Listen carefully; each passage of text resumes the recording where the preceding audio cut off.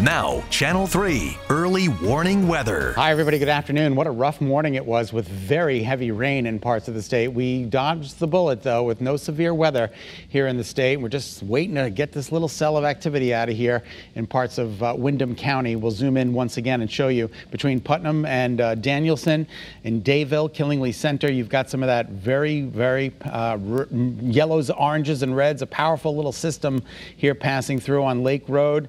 Uh, this is in Pineville, Putnam Heights, some of the smaller towns and hamlets there, Cotton Road, Killingly Road. So just be careful. Let this pass you on by. Let it move on out into Rhode Island and Massachusetts. It's going to take about a 45 minutes to an hour, and then it'll be gone. We're also watching a little bit of development to the south and east in New London counties, North Stonington. You guys are dealing with some of that moderate to heavy rainfall as well, right by the Pequot Indian Reservation. So just be careful there as well. Other uh, places we are dealing with still some scattered showers, but they're nothing like we had earlier. Hebron, Colchester, Marlborough, East Hampton. You guys are dealing with some of those scattered showers as well, and they'll start to wind down as we work through the rest of the day. Want to pass along what's in effect a flood warning for the Still River at Brookfield.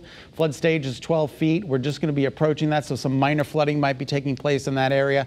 And there's also a flood advisory where that heavy cell of activity is right now in parts of southeast Connecticut. That is until 1245. If that gets extended, we'll certainly let you know. Let's quickly talk about the tropics. You're going to be hearing about Sam. He is out there and a menacing force. He is expected to become a Cat 4 hurricane. This is not good, but the good news is it's in the open waters of the Atlantic, going back to a 3. The track is to a northwest.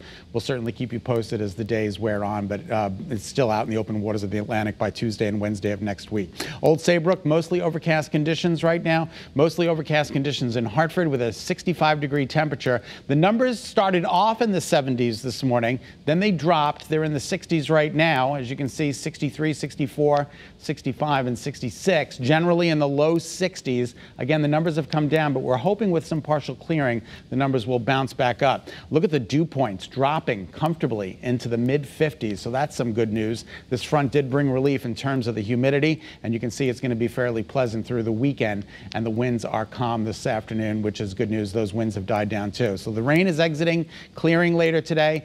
Now, tomorrow evening, there might be some showers around as this front moves to the east and stalls. There's an area of low pressure rides along it. Here's early morning futurecast. Tomorrow's weather today.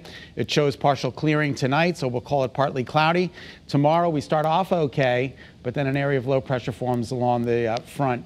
And unfortunately, that does bring some scattered showers, maybe even some heavier rain Saturday night into Sunday morning, according to this model. And then that pushes out, and Sunday is a really good day. Okay, so today's daytime highs climb into the low 70s. We're hoping anyway. And then 73 tomorrow with those afternoon and evening showers. Sunday looks good.